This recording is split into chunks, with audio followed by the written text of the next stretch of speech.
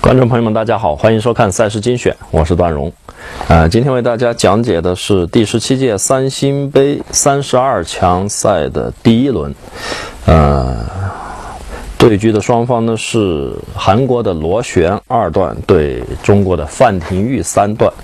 那么这盘棋呢是在啊去年二零一二年九月四号下的。那么范廷钰当时是三段，在这个今年。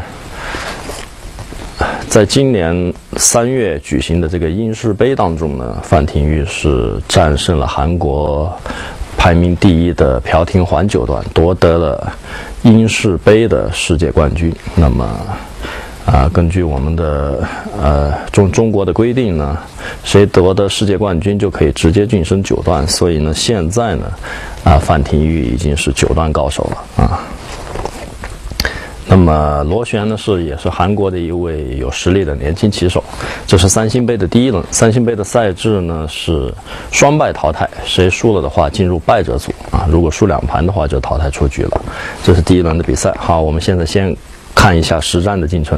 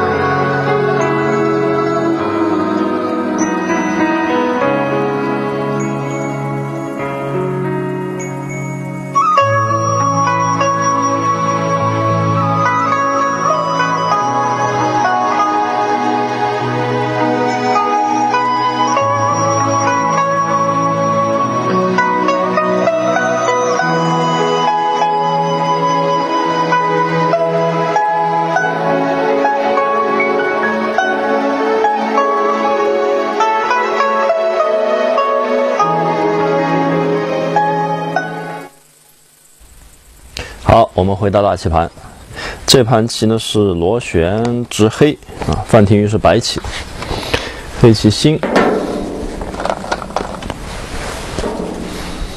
小目，白棋小目，黑的呢低挂，白棋呢挂另外一个角啊。白棋这样的布局呢，可能是出于打啊打破打乱黑棋的部署，打打破黑棋的一个布局构思的这种思路。白棋如果加的话，黑棋嗯，也许是一般来说可能会黑棋研究的比较多，进入黑棋的套路。白棋反挂，黑棋加攻，二间高加。对于这个二间高加呢？呃，比较常用的下法呢有两种，一种是实战的大跳啊，另外一种呢是飞压。那么飞压这步棋呢，在现在这个场合可能不太适合对付白棋。这个飞压呢，黑棋一般有两种下法，一种是简单的往底下爬，爬完之后直接跳，或者还有啊爬一个再跳的，爬完直接跳，这个是比较。普通的一种定型方法。那么将来白棋在这里有拖这个的手段，黑棋如果接的话，白棋可以啊接上，在角上取得根据地。黑棋如果这样冲下来呢，白棋在争子有利的情况下，黑棋如果冲下来反击，白棋可以反冲，再切断。黑的不能叫吃，叫吃被白棋一打，再一打吃，立的话一挡，黑棋死掉了。那么黑棋只能粘在里边，那白棋争吃。黑棋断这个的时候呢，白棋可以打吃一下啊，黑棋吃不掉这两个白子，这样的话白棋外边可以争吃一个黑子呢，是可以满意的。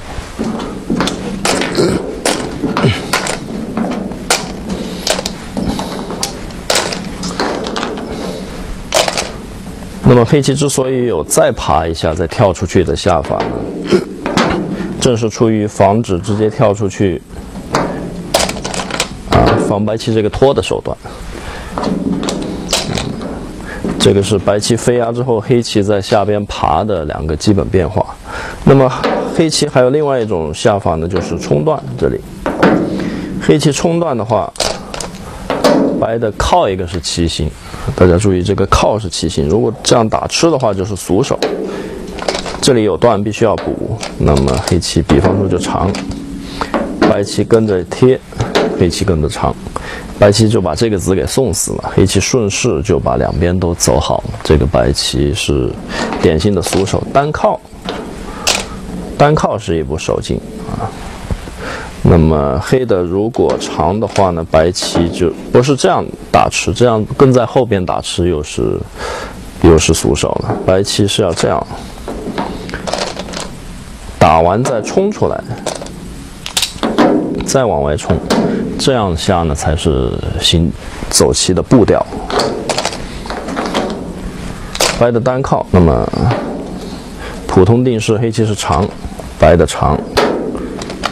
黑棋补一手，白棋补一手，大家可以看到，这个是冲断之后的一个最简明的定型。那么局部来说，白棋是完全可以满意的。黑棋先站的脚，白棋走到现在呢，目数也有，而且也比较厚实，白棋没有任何不满。但是呢，从整个棋局的配合上来看呢，黑棋下一步有一个绝好点，黑棋就飞压。黑棋飞压之后，白棋现在冲断显然有点无理，旁边没有帮忙的子的话，冲断作战白棋是不利的，所以普通的下法只能是在下边爬。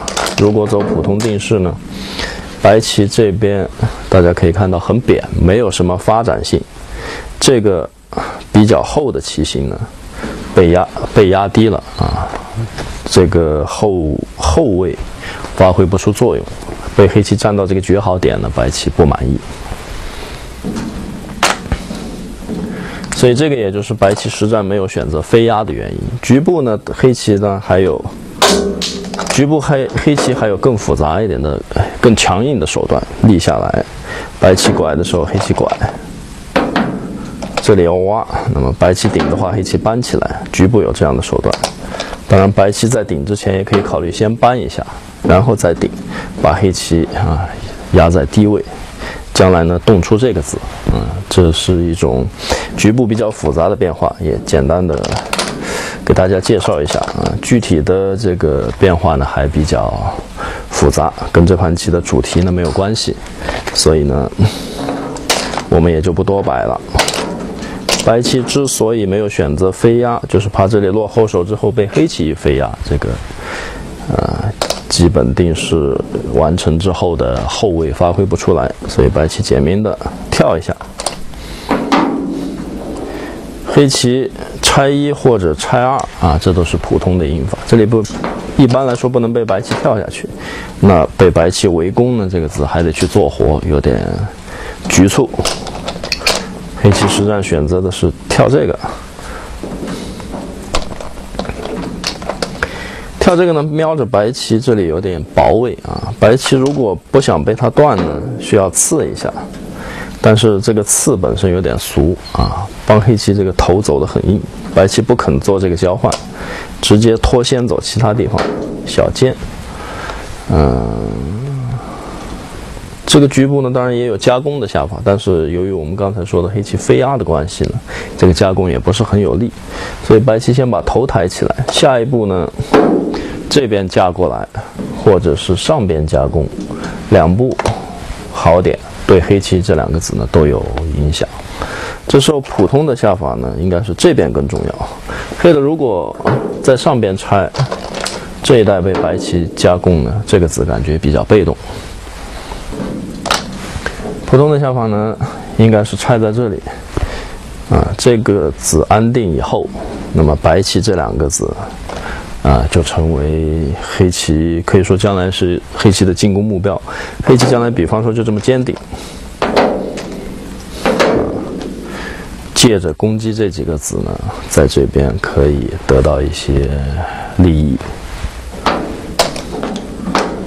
这个是比较普通的下法，实战的，黑棋是直接要把白棋靠断，这个可能也是这个韩国年呃年轻棋手这位螺旋二段这种，这个可能是他的棋风，比较好战，嗯，对手棋形一旦有点漏洞，他就要牢牢的抓住你，但是呢，这地方也许正是。白棋这个拆二是有点薄，但是可能正是范廷玉故意卖个破绽啊，让黑棋来，黑棋靠，白棋如果一直线的跟着应呢，黑棋就这么简单的顶，然后断，这个白棋恐怕就不太好，下边还还会被切断，嗯。如果就这样弃掉的话呢，实地损失未免也太大了。黑棋还是很满意的，黑棋吃掉这么大一个角啊，白棋所得的不如黑棋。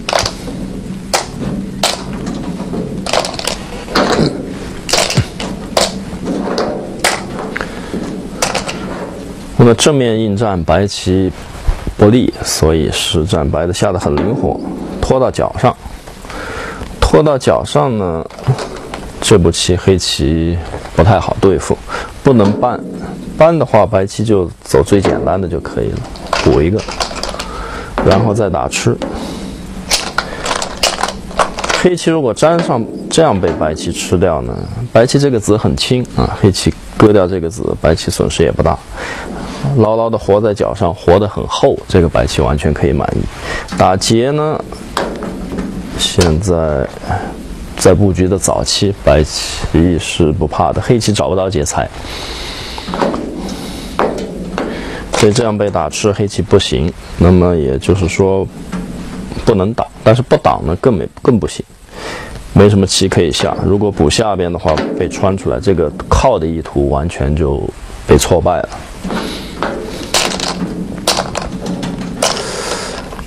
所以拖的时候，黑棋顶一个是正形，彻底的断开这个子和这边的连接。那么白棋搬一个很紧凑，二路搬很紧凑。黑棋这个时候呢，如果挡的话呢，白棋可以考虑挖吃，也可以考虑直接长出来。因为黑棋吃这个子的话，白棋一反打，黑棋不太好办。如果打劫，还是我们刚才说的啊，棋出无劫，黑棋找不到劫财。如果提掉呢，白的冲过来，黑棋这两个子变成废子，这个黑棋是彻底的失败。那接上也不太像围棋，白棋这里打吃还是先手，啊，依然可以冲断黑棋。虽然黑棋隔开了白棋一个子，但是这边黑棋的形状很糟糕。这块白棋呢已经很安全了。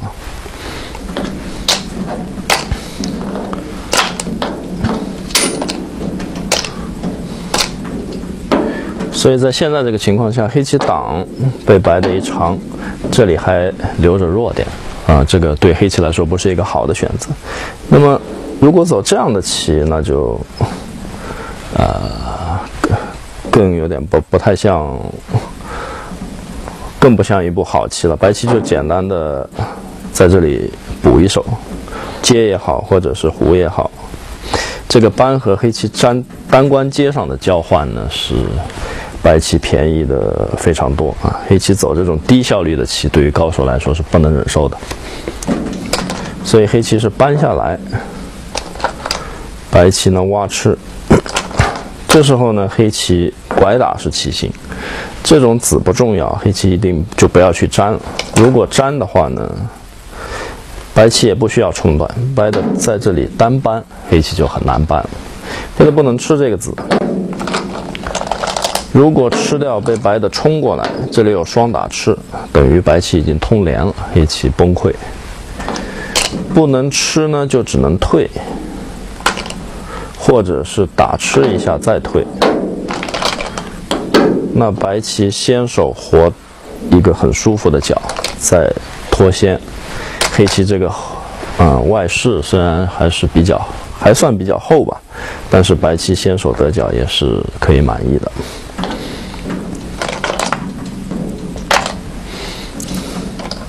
那么黑棋拐打，白的提掉，黑棋打吃。白的只能粘上，黑棋接住，黑棋获得了一个非常厚实的外势，而白棋呢得到了先手，脚上活的目数还不小。将来黑棋如果在这边收官，白棋立下来，我们看到脚上目数不小。如果黑棋打吃呢，白棋把这个打拔，这里还留有加进去或者是切断这样的手段。嗯。这个局部，我们简单判断一下呢。黑棋在这个局部比白棋多花了两手棋，局部黑棋多两手。那么白棋角上的目数应该应该大致算有接近十目棋吧，不到十目，将近十目棋。嗯，更重更重要的呢是呢，白棋取得先手，黑棋局部多两手之后，嗯，我们看一下，分析一下这个外势它的作用。在这边呢，被白棋这两个子肯定是大大的限制住。那么白棋取得先手，再在这边限制黑棋外势的发挥呢？感觉上黑棋虽然是厚是足够厚了，但是呢，速度略微慢了一点。嗯，我觉得应该是像这样的局面的话呢，喜欢拿白棋的职业棋手应该会更多一些。白棋挂角。挂角的方向呢，主要是针对限制黑棋这个后势来考虑。黑棋加攻是当然的一手。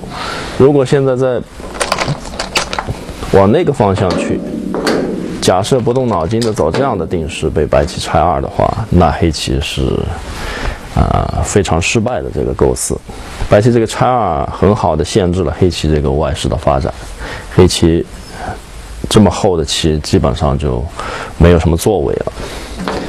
黑棋必须要加工，黑棋只有寄希望于在这里，嗯，围出效率很高的空，才可以，呃，挽回这里实地上的损失，才能在这里发挥这里多两手棋这个后势的作用。黑棋加工，白的如果选择最普通的定式呢，黑的黑棋这个结构还是可以满意的。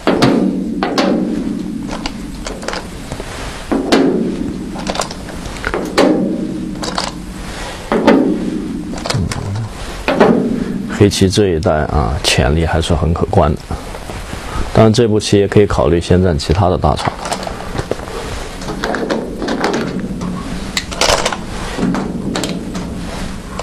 那么实战呢，白棋选择了啊双飞燕反挂，黑棋压住，压住也是一个局部很正常的下法。这时候呢，白棋单点三三。这白棋单点三三呢，黑棋面临着几种选择，一种是实战，啊，一种是实战的挡下来，另外一种呢是挡这边，或者还有呢虎这个啊，虎一个呢也是简明的一种定型，白棋爬过，黑棋脱先，但是这个子呢没有死，将来白棋一顶，再一扳，这个子是活的，局部来说白棋还留有这样的手段。挡这边也是一种定式，白棋爬过来，黑的长。局部呢，白棋可以选择两种下法，一种呢是粘上，这样白棋落后手，但是将来在这边呢，啊，有留下一些味道，比如说搬了打吃啊，或者是搬完立下去之类的，有一些可以借用的地方。还有一种呢是下立。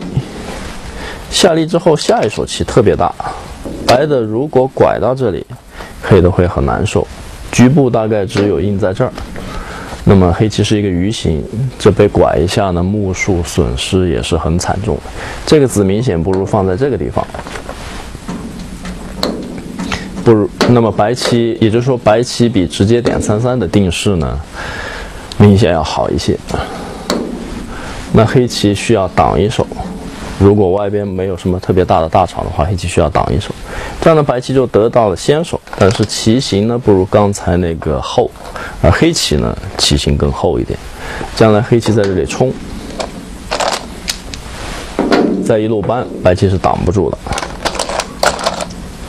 挡住的话被断了，这里有关门吃，所以白棋大致只能走在这里。那黑棋。一方面是目数便宜了，另外呢，对白棋的眼位也有一定的，造成一定的威胁。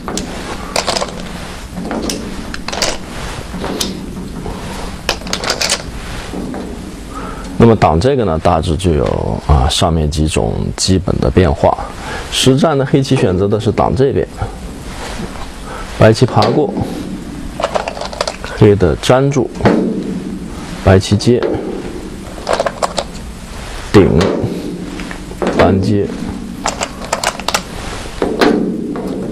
黑的在照。对于这个结果呢，嗯，我觉得黑棋不能满意。虽然是厚是够厚了，但是黑棋这两边的后势究竟能啊换回多少实地？这这么速度很慢的进行，全盘的大场被白棋很快的都抢先占据了，黑棋这样，呃，一步一步的慢慢的这个进行，究竟，呃，后世能发挥多大的威力，这个很值得怀疑。那么，至少有几个地方黑棋可以考虑别的下法。当然，一种呢是这个挡的方向，挡这边也是可以考虑的。那么在这个时候，白棋粘上了呢，黑棋这个顶啊，看起来好像也是必然的一手，但是仔细一想呢，也不见得要顶啊，因为顶完这里之后，将来这个地方的定型，黑棋可能是只能选择往这边接，让白棋立了，在这边黑棋。一旦黑棋在这边有子的时候呢，这个力价值也是非常大的。一力之后再一拐，黑棋就没什么空了。黑棋如果要在这边围空的话，白棋打拔基本上可以看成是先手。这里一加进来，黑棋就围不到什么空，还得补一手。那么我们如果把这个棋形看成这样的话，黑棋这个空显然不大啊，不但不大，还有一点重复的感觉。所以黑棋这步顶，如果只是因为黑的怕白棋这样下的话呢，我感觉黑棋好像也没有必要太担心。即使只有都跟着应，那么黑棋现在可以换一个方向来选择。黑棋打吃这个是先手。现在黑棋反正这一带是漏风空了，不如就让白棋去走，彻底的把这条边看得看清一点，也就不必在这里花一手棋去走了。那么这手棋如果换在上边的话，黑棋的规模显然就要大得多。这样的话。黑棋的后势啊，比实战更容易发挥它的威力。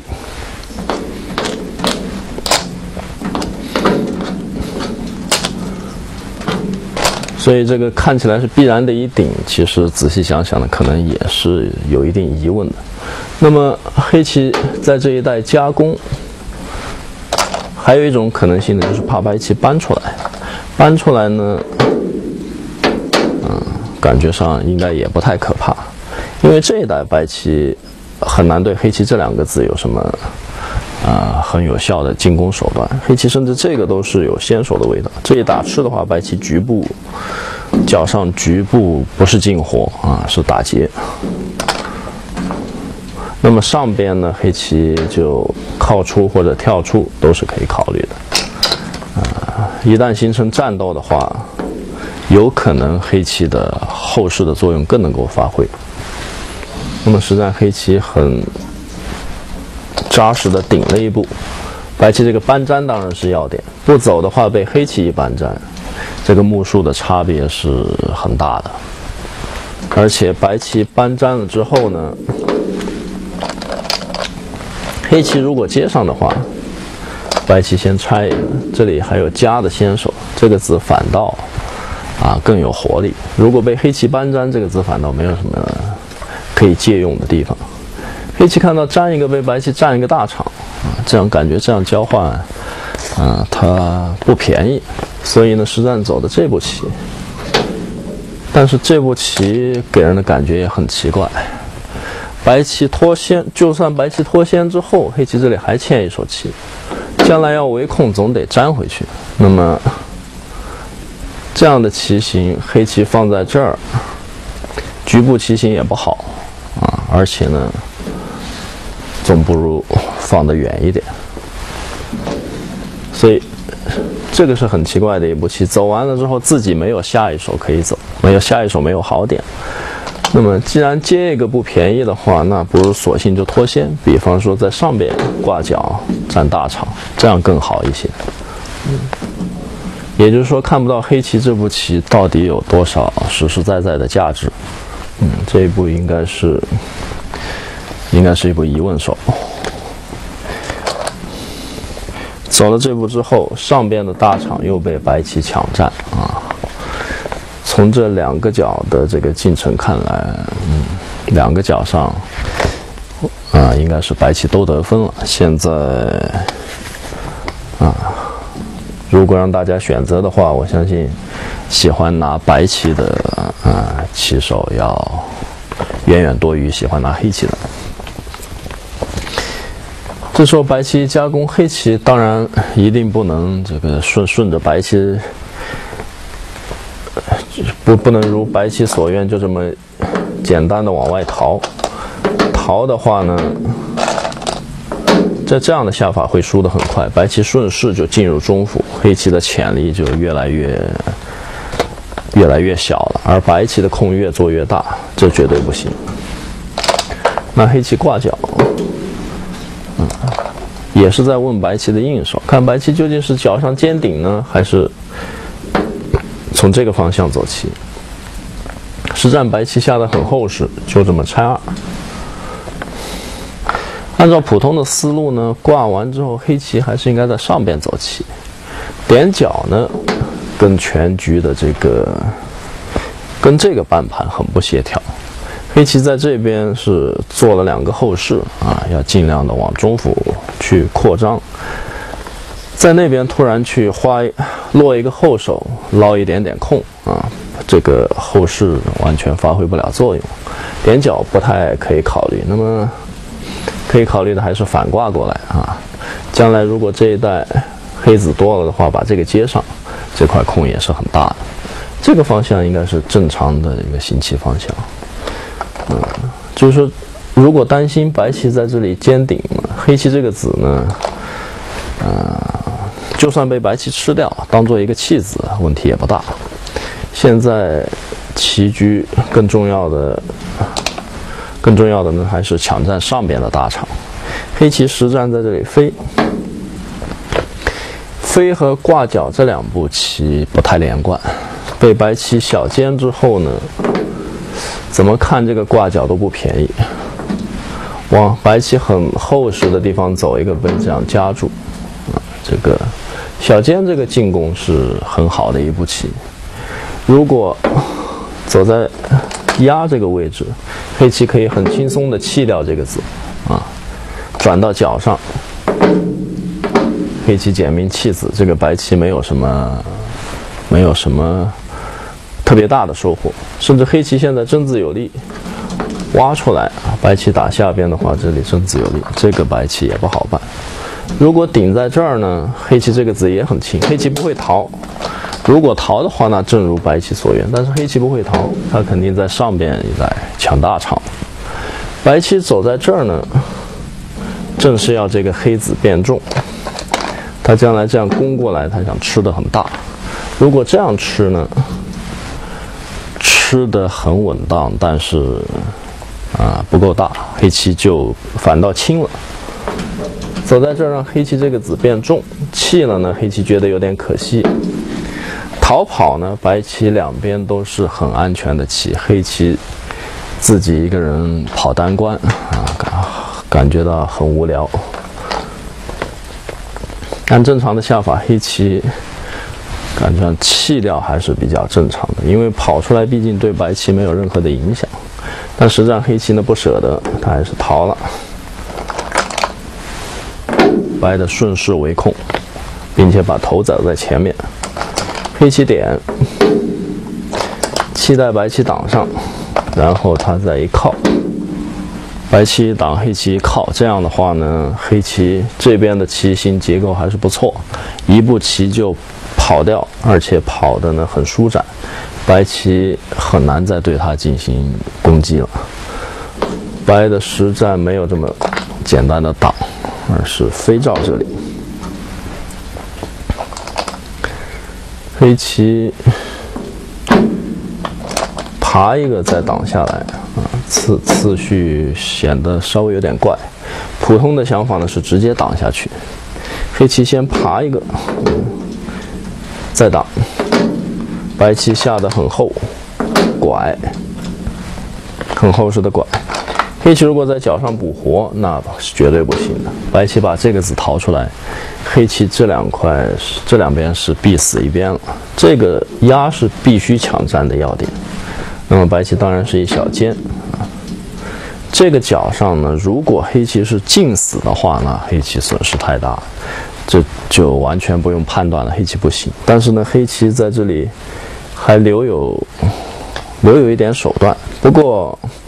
这个手段对白棋来说也基本上没有多少影响。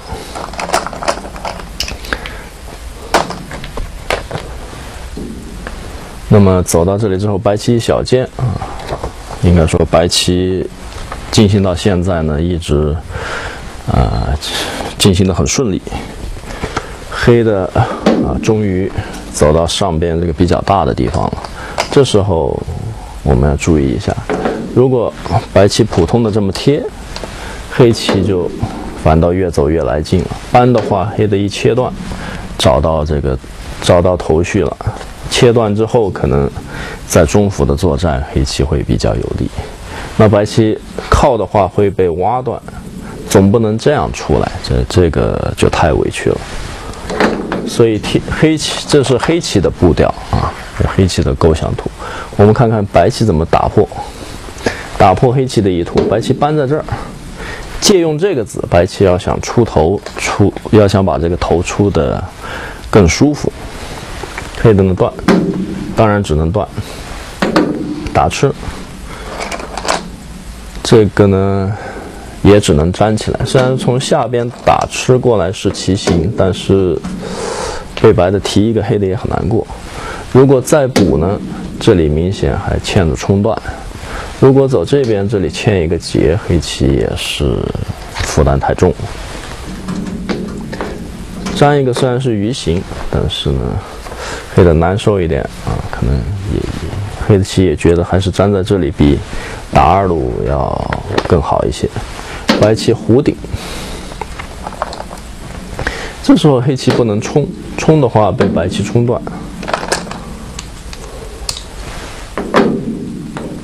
下边一立，黑棋这三个子就死了，杀棋杀不过，所以必须得补。补了之后呢，这边被搬出来，白棋也不需要下的太复杂，简单的搬了粘上，这黑棋就不行了。这四个子白的可以弃掉，这个黑子已经撞伤了，白棋出头出的是非常的舒服。这个图黑棋是不行的。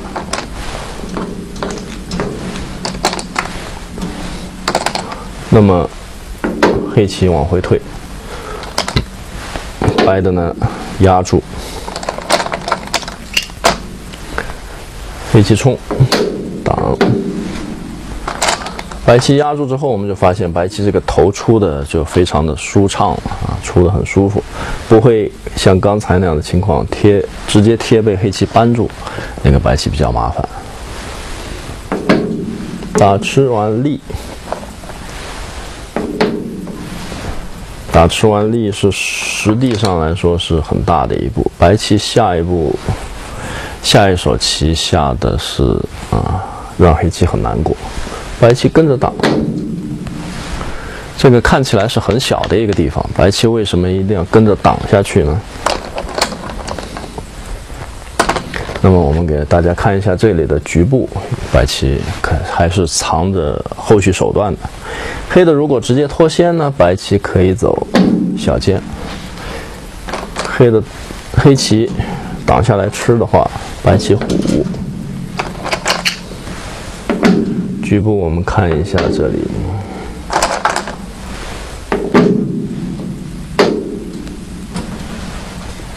白的是有手段的。或者呢，一路搬，黑的挡呢，白棋一扑，也可以吃掉这三个子。白棋在空里面残留着一些手段。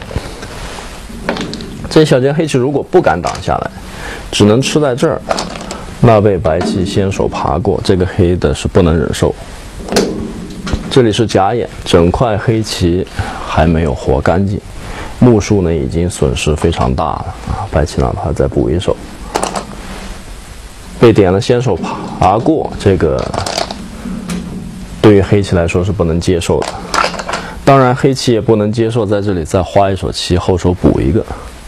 所以黑棋在这里断啊！如果没有这个棋的话，黑棋是绝对不会在这断的。这几个白子呢是残子啊，吃掉也没有什么味道。黑棋去断这个没有意义。但是现在因为这里啊留着手段。黑棋补又不肯，不补也不行，所以黑棋想到干脆我补在外边。这步棋的好处呢是，这个地方黑棋放出一气来，白棋打吃不进去了。但是这步棋也有不利的一面，就是既然在这里黑棋走了一个子啊，反倒会被白棋借用，白的靠出来，黑棋长接住。黑棋吃这三个子呢，没什么味道，是白棋是残子。但是呢，黑棋走了两个，如果被白棋吃掉的呢，如果被白棋吃掉的话，黑的肯定也会觉得有点心疼的。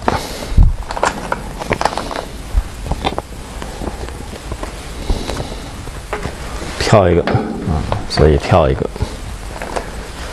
那么跳一个之后呢，白棋没有在上边走棋。白棋这个时候判断还是很清晰的，上边黑棋再走，一旦被白棋夹过的话，黑棋上边也没有空，而白棋在上边走一手呢，也很难说能增加很多。而这个地方还是很显然是比较大的地方，白棋走一个能增加不少时空。如果黑棋拆过来的话呢，显然也有收获。所以白棋抢占下边的大场，上边呢他就让黑棋去走啊。白棋觉得黑的也没有什么好点，大不了就是这样走一个，那么白的很轻松的就夹过就可以了，或者切断也行。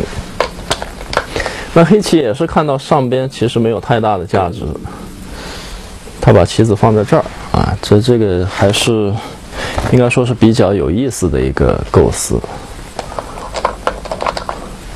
白棋还是不能这样顺啊，顺着黑棋的意图走，被一虎就没有棋形了。搬被切断，靠被挖，这样的棋呢，又有点类似于我们刚才说的，白棋又走成鱼形了。这样呢，也也接近于鱼形，黑的黑棋顺着围控啊，白棋都在走单关。那么这个时候，白棋啊。白棋的好形在哪里呢？就是实战这一步跳点，黑的不能冲，冲被一挡，断的话被白棋吃掉了。如果补这边呢，白棋一接，这个子又撞伤了，冲不动。如果补回去呢，白棋出头出的非常舒服，这就是好形啊，很挺的这个气也很长，出头出的也很挺。黑棋这时候可能感觉到压力越来越大了，这形势越来越朝着不利不利于黑棋的方向发展，被这一点点的很难受，实战黑棋被逼急了，他拼了，切断，这个切断呢，白棋一吃就可以把它吃掉啊，这个子是送死，但是他故意送给白棋吃。切断了，他就是为了冲过来。刚才我们说冲白棋可以挡住黑棋不行，但是断一下紧了白棋之后一气之后呢，白棋再挡，黑棋先手打吃，送白棋一个子，然后把这两个子断在外边。这个图白棋不行，这两个子被断损失太大，中府黑棋潜力一下子就增加很多。不挡呢，不挡白棋也没棋下，被黑棋封在里面的话。啊，这这个黑棋这个诱饵，白棋要去吃，那就上当了。被被黑棋封在里面，白棋不行。所以断的时候呢，白棋是横顶，保证这里已经出头了，横顶。那黑棋断了之后，既然这边被黑棋被白棋出头，那当然这个子就不能再弃掉了，必须得拉回来。白的拐，这是必然的。脚上呢，黑棋局部局部黑棋一搬粘，白棋脚上是近死。但是呢，现在黑棋不能这么走，被白棋飞点在这里，黑棋的气是不够的，不能直接跟白棋去杀气。所以呢，黑棋先虎。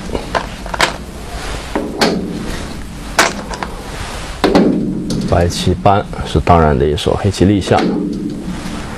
白的如果接上呢，黑棋再搬粘，把角上吃掉。这样虽然外边被白棋都穿掉了，但是黑棋吃到那么大一个角，那当然是收获巨大，完全可以满意。所以呢，白棋现在把角补活，补活了角之后呢，这里一冲，黑棋这两个子被冲死了。这个被一粘，那问题当然更严重啊！甚至白棋可以直接挡下去，粘或者挡黑棋都受不了。那么下一步黑棋显然是只有切断，切断之后呢，毕竟黑棋算是啊费了九牛二虎之力，但毕竟是把白棋这块给断开了啊！断开了之后。局势呢会比黑棋简简单单下更复杂一些。好了，那么白棋补活了啊角上之后，中府的战斗会怎么样来发展呢？我们还是先看一下实战的进程。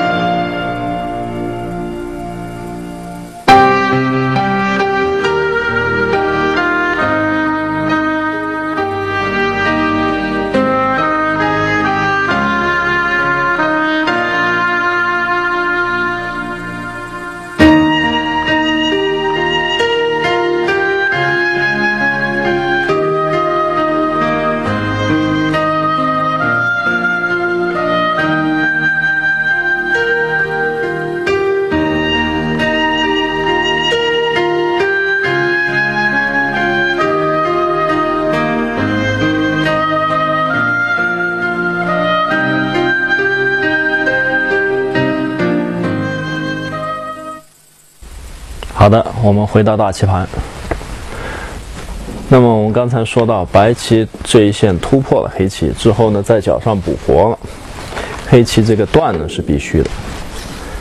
黑棋切断之后，白棋这一冲呢就可以吃掉黑棋这两个子，黑棋逃不出去了。这里是不入子，但是白棋如果现在冲的话，黑棋往这边走过来，借着进攻这块白棋啊，中府。黑棋还是有相当可观的潜力，所以白的现在不能贪吃，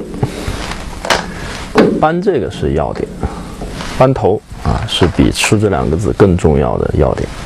黑棋搬呢，白棋长，搬长之后，下一步啊，黑棋需要解决两个问题，一个当然还是这个冲吃了，另外呢，这边也不安全，白棋一挡下来之后。啊，我们看到实战白棋就在这里施展手段，这里是有棋的。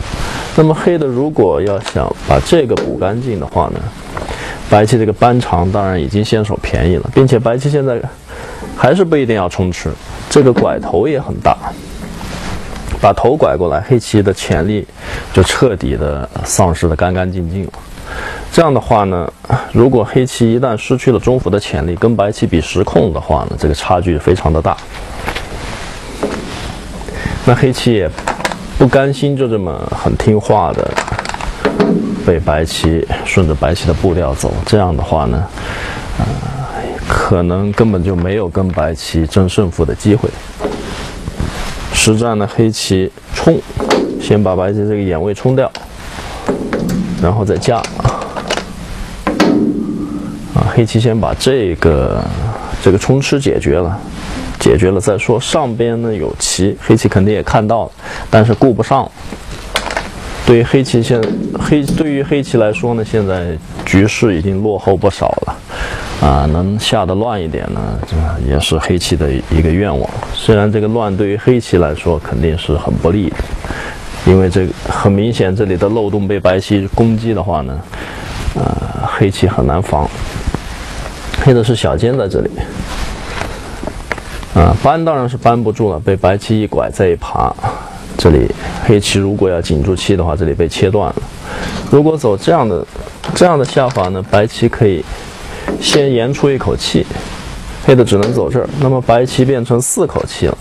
四口气的话，再跟黑棋去对杀，不管怎么着，黑的总是死了啊。黑棋慢一气，白棋有四口气，黑棋只有三口气。所以黑棋尖在这儿，尖在这儿也是一个唯一的抵抗的办法。那白棋一拖，我们刚才说了，这样是不行的。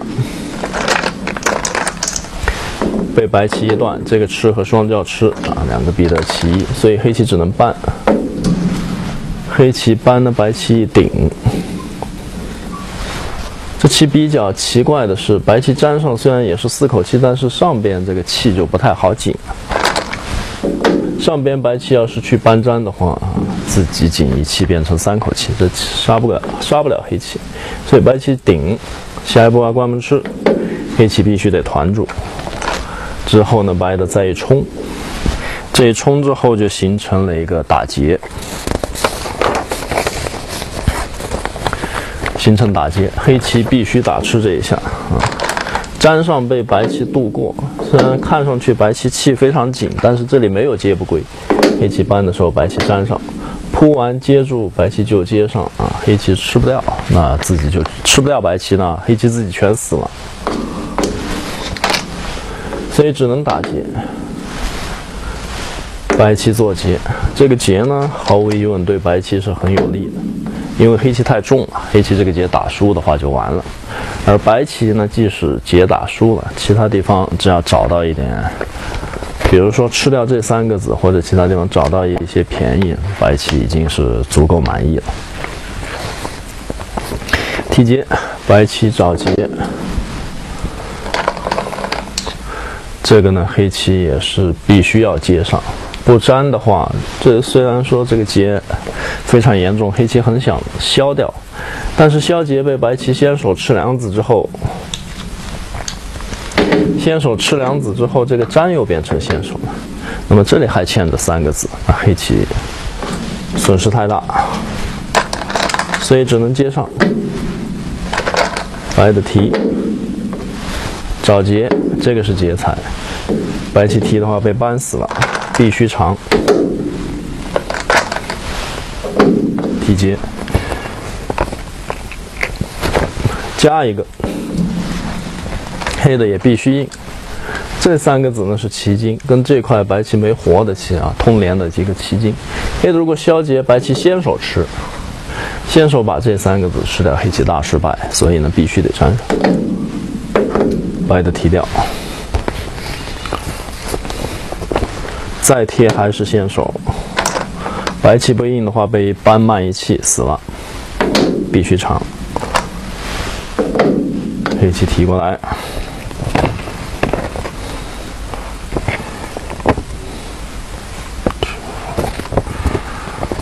嘿白棋呢靠这个，这时候黑棋也不敢不硬，虽然很想消劫，但是这个被白棋粘上，下边下边黑棋还得补一手，要不然被一扳，这是不能忍受的。下边再去补一手，那白棋可以把这这块黑棋吃掉，并且吃的很大，那黑棋绝对不行的。所以呢，必须得冲，但是。黑棋必须应的麻烦就在于，当白棋提过来的时候，黑棋全盘一个劫财也找不着了，只能忍回去啊！这个对于黑棋来说是非常难过。那么白的现在如果立刻开劫呢，也找不到一个特别有利的劫财，所以白棋先在这顶啊，这个局部呢。本身就是有一点问题的，本身黑棋局部就有一点问题。黑的挡呢，当然就被吃掉三个子了。如果接上呢，本身白棋就可以拐过来。这里虽然黑棋可以铺锦气，但是在打吃的时候，白棋拐出来本来就可以逃掉啊。那黑棋肯定是不能接了，那边还欠着一个劫呢。如果这么走呢，白的就简单的吃掉啊，黑棋。还得补上面的劫，那白棋该白棋先手，白棋消一消黑棋中间的空啊，也是很轻松的局面。黑棋实战呢，补了一手，这地方不能不补，这个抱着一个炸弹没有办法跟白棋作战啊。任何时候只要敢一用强被白棋开劫，都有可能就粉身碎骨了。所以呢，黑棋补一手，那白棋拐过来。黑的打吃，白棋把三个子呢吃掉，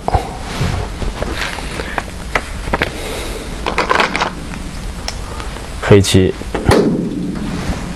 提掉，白棋吃到这三个子呢，这块棋就彻底安全了，很安心了。之后呢，很机敏的把先手官子收了。白的如果不渡，被黑棋给先手扳粘呢，这地方目数的出入还是很大的。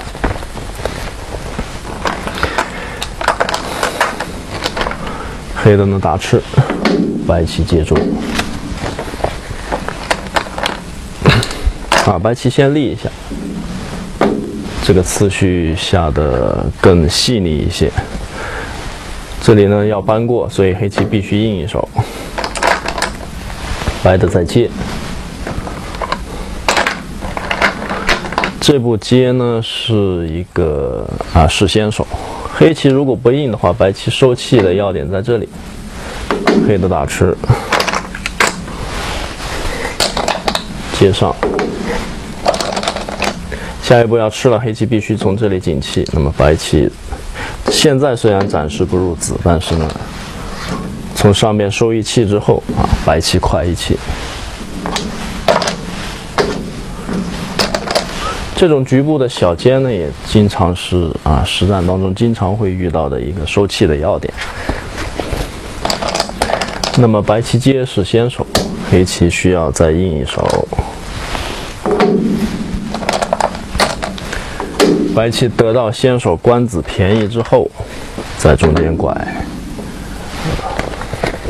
压缩黑棋这一块空，黑的当然要搬，白棋搬，黑的连搬，这是黑棋唯一的一块可以在啊尽量扩大的空了。那白棋一长，黑棋围住。这时候呢，白棋没有再跟着走，而是吃。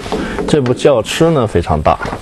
黑白的如果再跟着走，啊，那么黑棋把这个抢掉，上边一块啊围的也是围的不小。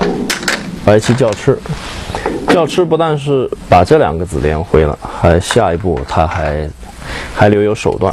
那么这个扳头当然是巨大的一步棋，扳头的黑棋这里增长了很多。那么白的跳进来，这个跳进来就是叫吃之后的后续手段，还可以再往里面钻，去把黑棋的把黑棋的空啊，再再给挤压一些。黑棋呢是不能这样下的，这个冲断，因为黑棋气太紧了，这样冲断的话，到处都要出麻烦。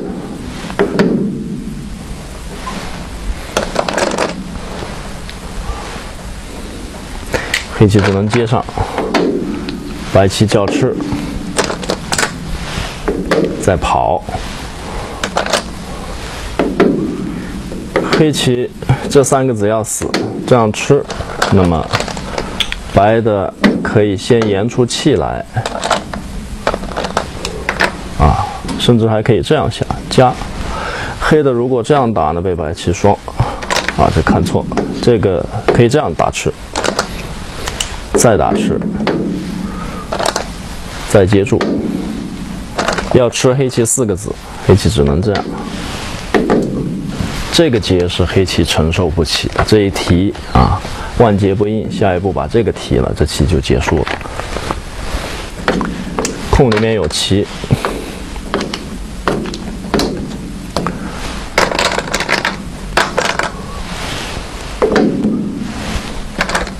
吃在这儿呢也解决不了问题，白棋可以滚包。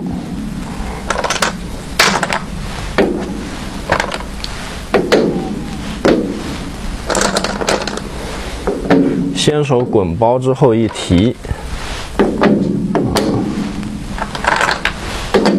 一打吃，再提过来，这也是万劫不应，黑棋就被提光了。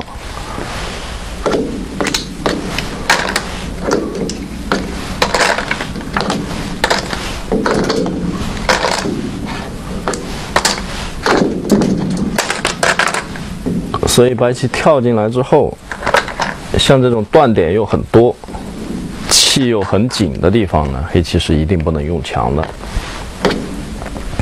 直接冲断呢，只会导致这个很快的就被就被白棋给吃掉了。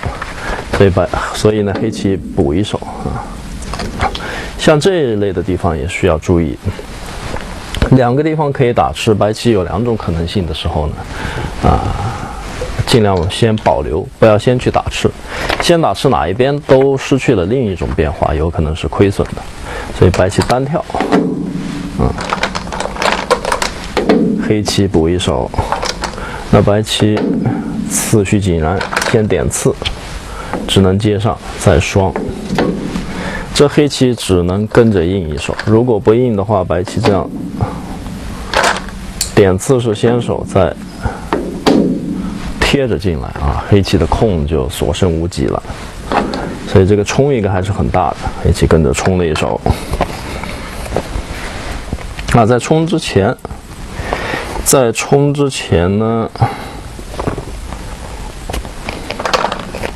这里次序呢稍微摆的有一点出入，白棋叫吃，黑棋是先先把这个接上，之后再搬的。啊，我们看一下这个局部，这个局部呢，白棋这个力本身是很大的一手棋，现在呢，也可以说是全局最大的一手了。不走计时角上是活棋被黑棋打吃，白的目数损失也很惨重。而这个角上呢，黑的如果打吃的话，白棋是进活不了的。白棋如果挡，黑棋点在这里，不靠这个劫，白棋局部是活不了的。走这个呢，也是一个做活的要点。但是黑棋，黑的如果长的话，白棋做眼，虽然是很委屈啊，啊，目数上来讲已经是亏的亏的非常多了。虽然很委屈，但是它可以进活。局部的死活呢，黑棋点这里或者飞这儿啊，不管走哪。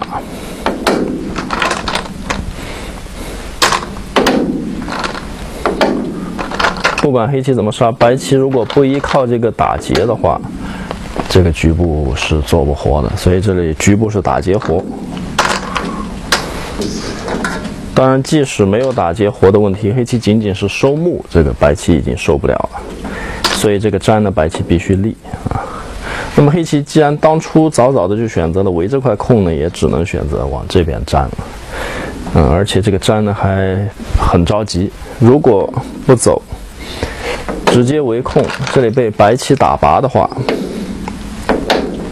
黑的很可能还得补一手，那就是变成白棋的先手便宜啊，白棋先手的官子。如果不补，这个地方加进来，黑棋的味道很糟糕。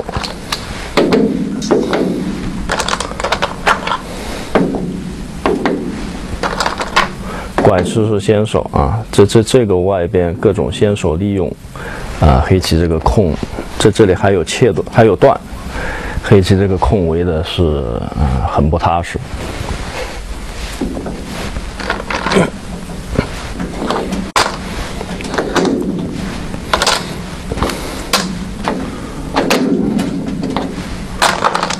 所以呢，黑棋粘了一步，黑棋粘上，白棋立下啊，做了一个这个的交换之后呢，黑棋再扳头。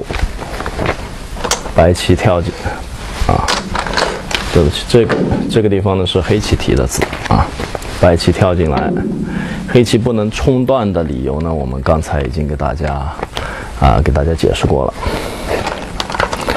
那黑棋要补一手，这地方补呢，主要不是怕白棋断这边，而是怕白棋打吃先手之后把这个切断，这个提可以看成白棋的先手。黑棋补一手，围住这块空。局部呢，这个地方白棋提示先手，但是即使提先手，啊，上边呢也没有棋。我们简简单的看一下收气，白棋渡过是一个收气的要点，不渡过的话，走这个被黑棋叫吃，啊，这个白棋黑棋有眼，白棋没有眼，不行。渡过呢？黑棋叫吃，粘是粘不上，粘上被打吃再打吃，啊，这个白棋不止慢一气了。小尖是个收气的要点，黑棋呢不能挡，挡被收气打劫了。黑棋提，白的打吃进来，啊，看起来好像有问题是打劫，其实呢是一个连环劫。黑棋可以提这儿，白的提的话，黑棋提过去。这个劫黑棋是可以说永远也输不了的，白棋需要找劫，黑棋呢不需要找劫，白棋不可能有无穷的劫财啊！这地方既不是打劫，也不是三劫循环，这里没有棋，是一个连环劫。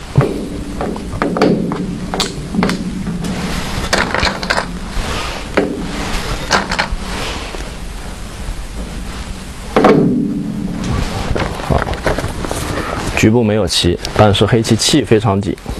由于气紧，被白棋跳进来之后呢，黑棋就只有忍耐，不能再去用强冲断了。那么白棋飞点，黑的接住，白棋呢连回来，连回来之后，下一步要点了穿进来，所以黑棋守住空。那么白棋再一拐，这个拐也是一个价值巨大的官子。不走的话被黑棋一挡啊，黑棋黑棋一挡，这个白棋脚上还感觉很不干净啊。跟着走的话呢，不止目数大，啊，厚薄还有关系。白的一拐，啊，这棋局进行到现在呢，可以说白棋是。啊，一帆风顺。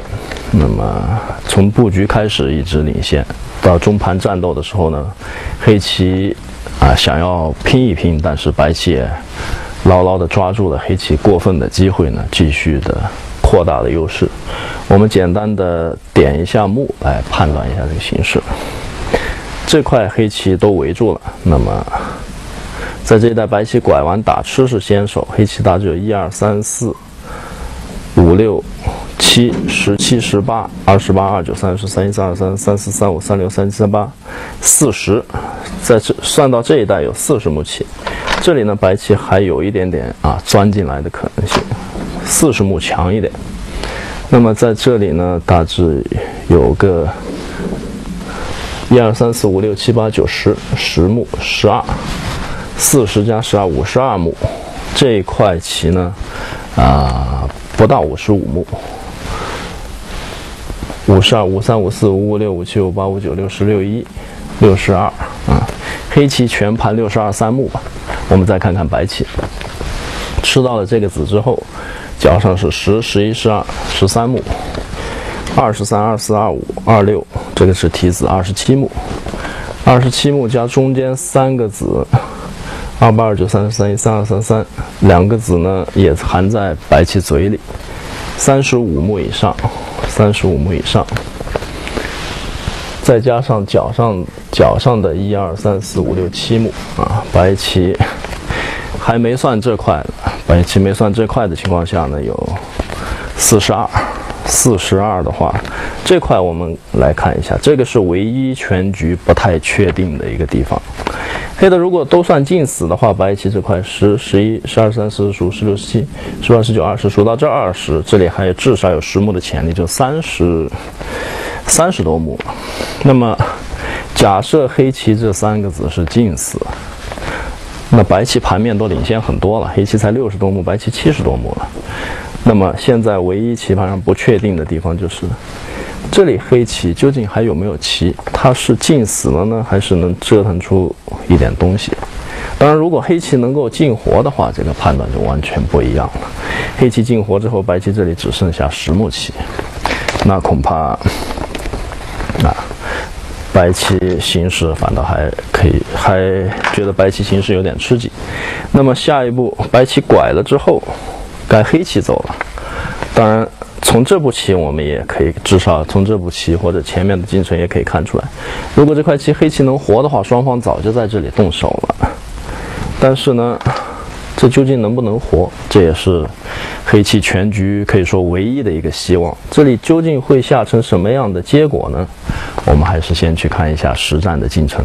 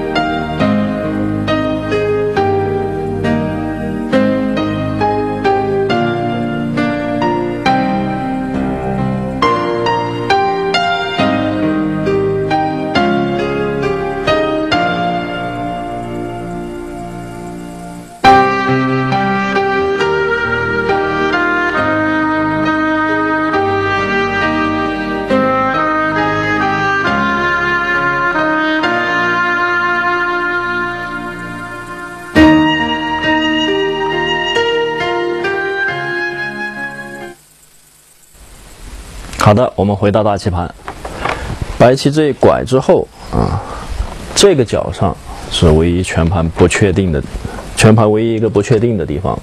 这角上究竟啊这个死活的基本功是个什么样子？我们来看一下。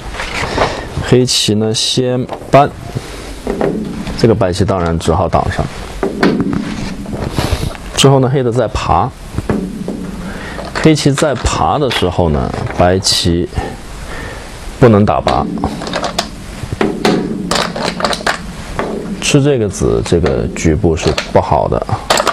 黑棋冲先手，急也是先手，这样大家就可以看清楚了。黑的一立或者虎在这里，这已经是很明确的两个眼，立一个也可以活，所以打拔是不成立的。那么搬这个呢？黑棋依靠挤的先手和冲的先手，这两个是先手之后，黑棋可以虎在这儿，这样呢，白棋也杀不掉黑棋。破眼的话，黑棋一顶，上破上边这个眼，黑棋下边是两个眼啊。白棋单团的话，黑棋直接做眼，这样黑的就活了啊。如果点进来在这里呢，黑棋做眼。这里看起来气，看起来呢黑棋气有点紧，但是刚好没有问题啊，可以叫吃。白的利的时候，黑棋先一提，白棋吃进来的时候，黑棋可以做活。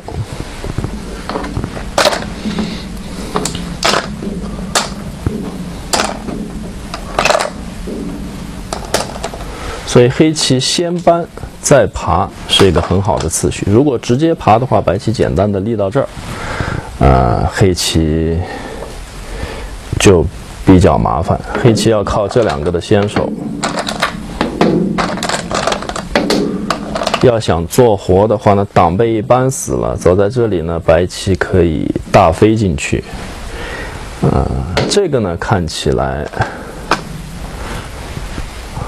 这个看起来是一步做活的要点，但是白棋可以挖进去，黑棋气太紧了，活不了。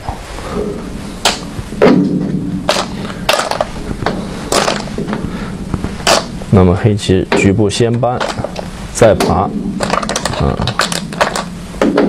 这个是局部一个正确的下法。那么白棋一路打吃，啊，一路打吃也是。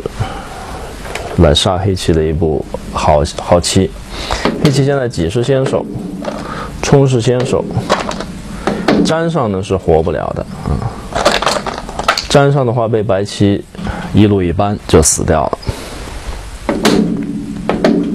那么黑棋现在有一步可以顽抗的棋呢，是走在这儿，黑棋弯在这儿，也就是实战当中，刚才大家看到的，可以做成一个打劫。白的不能提了，提被黑棋做活，白棋搬这个是要点，黑棋可以做劫啊，局部走成打劫活。这个打劫活呢，应该在双方的，肯定是在双方的计算之中了啊，大家早早就知道这里留有一个打劫活，但是呢。这个打劫活应该说对于全盘的形势呢不会产生什么改变，白棋还是很明显的占有很大的优势。我们刚才简单判断了一下，黑棋有六十多目啊，呃，甚至可以说，即使这个地方黑棋进活的话，这棋啊，黑棋啊都不一定就能赢，何况是打劫啊，更何况呢，这个劫对于白棋来说。还是很有利的，因为白棋现在也是全局下的非常之厚，就包括刚才这个拐，拐了之后，这个角上就绝对的没有一个劫材。如果这里被黑棋挡到的话呢，这个角上可以可能会生出无穷的劫材。那么，所以白棋一提的白棋一提的时候，黑的发现好像。全盘看来看去很难找到足够的劫材，甚至很难找到像样的劫材。黑棋呢，在这虎一下，啊，这个有劫材呢，当然是找完提过去，但是现在找不着合适的劫材，又再再次退让了，这就相当于已经被白棋先提到一下了啊。作为黑棋来说呢，没有劫材也没有办法啊，黑棋断。这时候呢，白棋要想解消这个劫呢，如果接上的话呢，黑棋这个己成为先手，白棋去吃它的话，啊，这样其实好像白棋想简明的吃掉，但反倒有点看不清楚。长一个也有先手的味道，在这边黑棋一尖顶，白棋这块棋呢也没活干净。在这边呢，长道、挤道和长道之后，这这里黑棋走下来的话，不管是点也好，飞也好，这个白棋哪怕能吃掉黑棋，被黑棋卷进去收气吃，白棋可能也会有很大的麻烦。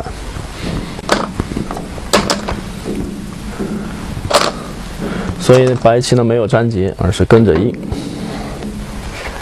打吃。黑的呢提过去，白棋这时候呢找一个劫财，再提过来，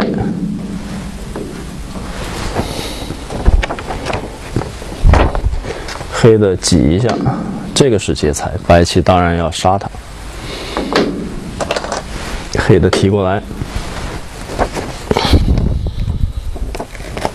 黑的提了之后呢？白棋这时候啊，白棋看看得很清楚，直接接上。局部呢，因为黑棋刚才由于没有劫财的原因，原因在这里退缩了一步。局部白棋粘上，黑棋已经进死了，只能指望这个子跑出来之后跟白棋杀气，或者是有什么借用。那么我们看一下实战，它跑出来了。跑出来之后呢，白棋打吃。黑的当然要跑，这几步是必然的，必然的进行。白棋贴出来，白棋顺利的出头了。黑棋在这里啊，即即使能够搬也没有什么意义。白棋哪怕就简单的弯出去，只要这边顺顺当当的连回去了，黑棋这个搬这里还留下白棋很多先手借用，这边是下不来的。所以这个搬并没有意义。那么黑棋实战是走在这儿，白棋很冷静的虎了一手，补住。黑的呢长啊长一个呢啊先断，把白棋的气紧住，先紧气。白棋当然要叫吃了，这一长。长一个呢，看起来好像是瞄着两个好点，一个呢是这跳家，这跳家白棋被封进去了，那就麻烦了。另外一个呢是这个挡下来啊，但是这个地方呢，当然白棋的计算是非常清楚的，它贴，嗯，贴之后黑棋不能再跟着走了，再跟着走白棋这边已经安全了，那么只要把这个一爬过，这块把黑棋尽吃的话，白棋啊盘面。白棋都领先很多了，这棋不存在收官的问题，所以呢，黑的怎么也得往下挡，但是这个地方早在白棋的计算之中，白棋看得非常清楚，先弧顶，这个是好次序，然后再一扳头，下到这步扳头的时候呢，黑棋没有办法再继续下去了，因为黑棋如果接着下的话，只能接上，那么白棋切断。这个地方有个滚包，但是呢，包完之后呢，黑棋是慢一气，啊，甚至可以说慢两气了，因为黑棋还紧不进去，这里还要补，那么外边已经是只有两气死掉了。那黑棋如果要逃跑这边呢，这个白棋就二路搬，先搬上边也可以，黑白棋可以。顺顺当当的通过上边的利用得到这个的先手，那么这样就可以看得很清楚，把黑棋吃掉。贴是先手，再贴下边，黑棋再那么白棋再一拐再一贴，把黑棋下边吃掉。黑棋是逃不掉的，这样白棋把黑棋吃了。所以呢。当白棋下到这步搬的时候呢，黑棋就认输了。那么，呃，范廷钰这盘棋应该是呃很流畅、很轻松的取得了胜利，可以这么说。那么，呃，范廷钰这位年轻棋手呢，今年才十六岁，但是在啊最近结束的这个英式杯的世界。世界比赛冠亚军决赛当中呢，他是战胜了韩国的等级分排名第一朴廷桓九段，夺得了英式杯的冠军。这个呢，也是创造了中国棋手最年轻的夺得世界冠军的这么一个记录。夺夺得世界冠军之后呢，范廷钰三段就直接晋升到了九段啊。这位年轻的棋手下棋呢，非常的沉稳。啊，很像当年的，很有当年李昌镐的风范啊，总是面无表情的，非常沉着的啊，静静的等待对手的失误。一旦对手有失误，他就牢牢不放的抓住。这样的年轻棋手确实是非常的难对付。这盘棋呢，我们简单回顾一下，黑棋在两个开局两个角的选择上呢。就略有失误啊，速度比较慢，虽然很厚，但是这个后势啊，黑棋找没有找到发挥它的威力的方法。那么在左边的作战当中呢，白棋是一直抓住了黑棋的失误呢，一直领先，并且一步一步的扩大优势，最终呢，白棋是以啊。准确的计算，啊，中盘战胜了这个韩国的新锐棋手罗旋，那么范廷玉就以呃胜者的身份呢进入了三星杯的第二轮。好的，这盘棋就为大家讲解到这儿，谢谢大家收看，再见。